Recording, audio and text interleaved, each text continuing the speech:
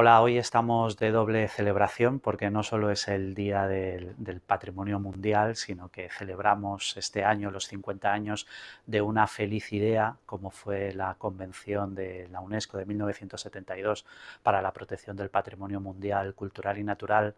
que vino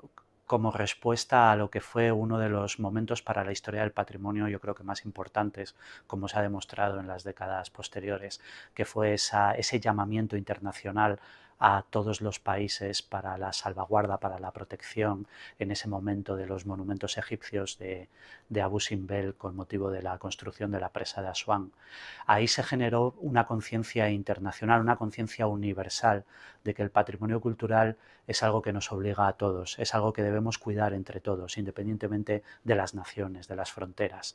Poco a poco fue creciendo el concepto de patrimonio y ahora tenemos las hermanas pequeñas de esa convención, como fue la Convención de 2001 para la protección del patrimonio arqueológico subacuático y como fue dos años después la protección para la salvaguarda del patrimonio cultural inmaterial. Juntos vamos creciendo en la valoración, en el amor por el patrimonio y ahora llegamos a un punto de inflexión donde damos un salto más allá.